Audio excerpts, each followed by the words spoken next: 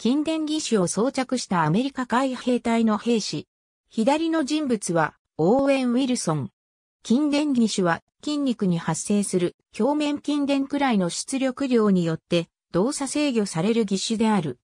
通常、義手は重い、熱い、人から注目を集めたくない、反対の手で代用できるといった理由から、軽量であることや、外観の再現が中心となって製作されることが多い。これに対して外観よりも機能の再現を目指して開発されたのが筋電義手である。筋肉は脳から命令として発せられる微弱な電気的刺激を認識した神経から分泌されるアセチルコリンを受容体が受け止めることによって収縮する。この時、発生する電位は微弱ではあるものの、体表面でも検知することができる。これを表面筋電位と言い、筋電義手を動かすスイッチとなる。操作法は切断者によって異なるが、切断してしまった部分を動かす筋をスイッチとする場合が多い。例えば手首を切断した場合、手首の小屈するときに発生する表面筋電位を物をつかむ、背屈するときに発生する表面筋電位を物を離すといったように、義手の動きと表面筋電くらいの発生方法に一定のルールを設けることで操作を行う。このように表面筋電位を感知し、その出力が一定の敷地を超えることでスイッチをオンオフさせて動作する筋電義手である。内蔵されたモーターにより物を掴む離すという動作ができ、疑似的に本人の意思で動く手を再現する。近年では表面筋電くらいの敷地ではなく、表面筋電くらいの波形そのものから義手が動作するような筋電義手も研究されている。しかし、表面筋電位は極めて微弱であることから検知が難しく、誰でも使用可能というわけではない。また内蔵されたモーターが重く、価格も高価であるので、使用体験を通し、長所、短所をよく理解しなければならない。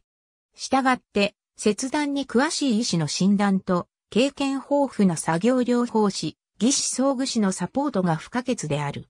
現在では、筋肉の電気信号だけでなく脳波の読み取りや AI を併用することによって文字を書く、ピアノを演奏するなどといった繊細な作業をこなすことができる。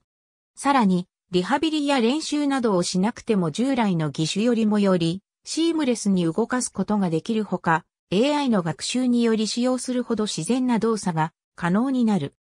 世界初の商用の筋電義手は1964年にソ連の Central Prosthetic Research Institute によって開発され、イギリスの Hanger Limb Factory によって広められた。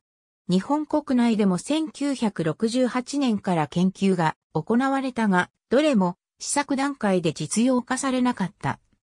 1979年に早稲田大学理工学部で加藤一郎教授が考案した早稲田ハンドをもとに今線技術研究所のワイムハンドが完成した。2015年、電気通信大学の横井博士教授らの研究チームによって思い通りに動かせる義手が開発された。1から2分の訓練で使いこなせるようになるのが特徴。日本国内での普及率は低迷する。